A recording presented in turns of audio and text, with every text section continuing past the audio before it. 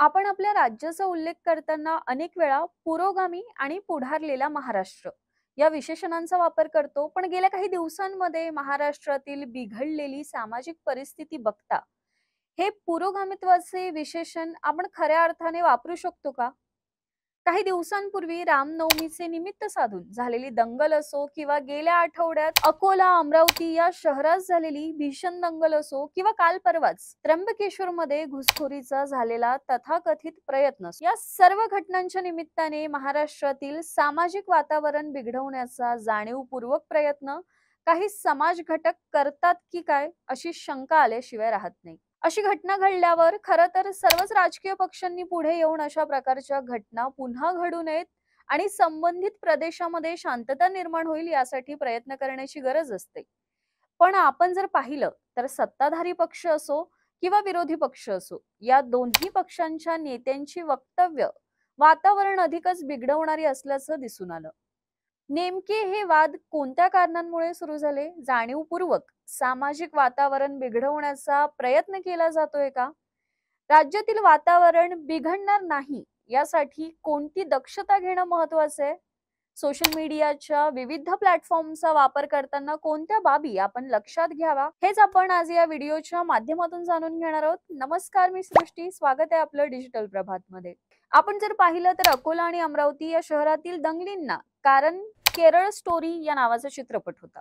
या चित्रपटाच्या निमित्ताने सोशल मीडियावर ज्या विविध प्रकारच्या पोस्ट प्रसारित होत होत्या त्याचा एकत्रित परिणाम म्हणून ही दंगल घडल्याचं समोर आलंय. त्र्यंबकेश्वर घटनेसंदर्भात सुद्धा सोशल मीडियाच्या विविध प्लॅटफॉर्मवर अशा उलट सुलट आणि चुकीच्या बातम्या प्रसारित झाल्या. गेल्या काही वर्षात केवळ महाराष्ट्रच नव्हे तर देशाच्या काना कोपऱ्यात जिथे जिथे दंगली घडल्यात त्याला सोशल मीडियावरील या चुकीच्या पोस्ट जबाबदार असल्याचं अनेक वेळा लक्षात आलंय. कोणीतरी काहीतरी चुकीची माहिती पोस्ट करतं आणि त्याची कोणतीही खातरजमा न करता हे चुकीचे मेसेज लाखो लोकांना फॉरवर्ड केले जातात. चुकीच्या मेसेजला अनेक वेळा चिथावणीखोर आणि अतिशय गलिच्छ शब्दांमध्ये प्रतिक्रिया दिल्या जातात. या प्रतिक्रियांमुळे वातावरण जास्तच चिघळतं. अकोला दंगलीला अशा प्रकारे सोशल मीडियाच कारणीभूत असल्याचा प्राथमिक निष्कर्ष तेथील पोलिसांनी काढलाय. त्र्यंबकेश्वर घटनेबाबतही विनाकारण चुकीची माहिती प्रसारित केली जाते. या मंदिरात घुसण्याचा प्रयत्न मुस्लिम समाजातील कोणीही केला नव्हता. उलट या मंदिराबद्दल आदर आणि भक्ती दाखवण्यासाठी दरवर्षीच्या प्रथेप्रमाणे तिथे मुस्लिम बांधव जमले होते असं पोलिसांना प्राथमिक चौकशीत समजलं. महाराष्ट्रातील सामाजिक वातावरण बिघडवण्यासाठी जाणीवपूर्वक प्रयत्न केले जात आहेत की काय? या शंकेला यामुळेच बळकटी मिळते. अर्थात राजकीय पक्ष असो किंवा काही धार्मिक आणि सामाजिक संघटना असो त्यांनी आपापले आय टी सेल विकसित केलेत. कोणत्या घटनेवर कशा प्रकारची प्रतिक्रिया द्यायची? या प्रकारचे प्रशिक्षणही या आय टी सेल ऑपरेट करणाऱ्यांना दिलं जातं. तरी सुद्धा असे प्रकार जर घडत असतील तर साहजिकच. महाराष्ट्र सरकारला आता या सर्व घटनांच्या मुळाशी जाण्याची गरज आहे. आजच्या डिजिटल सायबर युगामध्ये एखाद्या मेसेजची सुरुवात कुठून झाली आणि हा मेसेज कसा व्हायरल होत गेला हे शोधणं अजिबात अवघड नाहीये. त्यामुळे ज्या कोणाच्या डोक्यातून असे गलिच्छ आणि चुकीचे मेसेज तयार होऊन ते व्हायरल केले जातात त्या गुन्हेगारापर्यंत पोहोचणं अजिबातच अवघड नाहीये.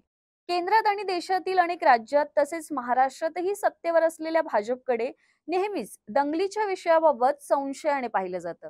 या संशयी वातावरणाचा फायदा घेऊन इतर कोणी जाणीवपूर्वक सामाजिक वातावरण बिघडवून दंगली पेटवण्याचा प्रयत्न करते का? महत्वाची गोष्ट म्हणजे सत्ताधारी आणि विरोधी पक्ष म्हणून काम करणाऱ्या सर्वच राजकीय पक्षांच्या प्रमुख नेत्यांनी आणि प्रवक्त्यांनी आपापली जबाबदारी ओळखून वक्तव्य करण्याची गरज आहे. या चुकीच्या आणि दिशाभूल करणाऱ्या विधानांमुळेही सामाजिक वातावरण अधिकच कलुषित होण्याचा धोका लक्षात घ्यायला हवा.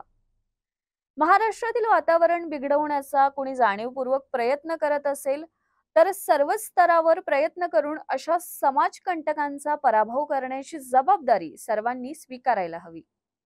स्मार्टफोनच्या निमित्ताने सोशल मीडियाच्या विविध प्लॅटफॉर्म्सचा वापर करणाऱ्या सर्वसामान्य नागरिकांनी सुद्धा त्यांच्या स्मार्टफोनवर आलेला मेसेज फॉरवर्ड करण्यापूर्वी हजार वेळा विचार करायला हवा. गेल्याच महिन्यात सर्वोच्च न्यायालयाने एका याचिकेवर निर्णय देत असताना समाजात द्वेष भावना निर्माण करणारी वक्तव्य करणाऱ्या नेत्यांवर आणि व्यक्तीवर स्वतःहून कारवाई करावी असे आदेश सर्व राज्य सरकारना दिले.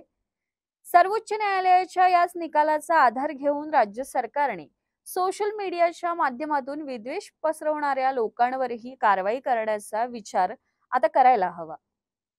द केरळ स्टोरी सारखे एखाद्या चित्रपटाचे निमित्त असो किंवा त्र्यंबकेश्वर सारखी घटना असो अशा प्रकारच्या घटनांमुळे संपूर्ण राज्यातील वातावरण बिघडणार नाही याची काळजी सत्ताधारी आणि विरोधी पक्षांबरोबरच समाजातील सर्वच घटकांनी घ्यायला हवी. सर्वात महत्वाचं म्हणजे सोशल मीडियाच्या विविध प्लॅटफॉर्म्सवर कडक नजर ठेवून चुकीचे मेसेज व्हायरल होणार नाहीत याची दक्षता सरकारला घ्यावीच लागेल. कलुषित सामाजिक वातावरण महाराष्ट्राला परवडणार नाही याची नोंद आपण सर्वांनीच घ्यायला हवी. एकूणच तुम्हाला या संपूर्ण प्रकरणाबाबत काय वाटतं?